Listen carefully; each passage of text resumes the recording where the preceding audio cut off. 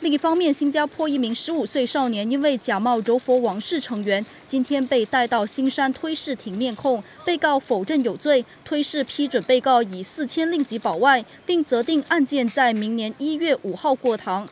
十五岁的被告被控在今年八月六号在社交媒体自称是柔佛苏丹端姑伊布拉欣殿下的孙子，抵触刑事法典四一九条文的冒充欺骗罪名。如果罪名成立，将面对最高七年监禁、罚款或两者兼施。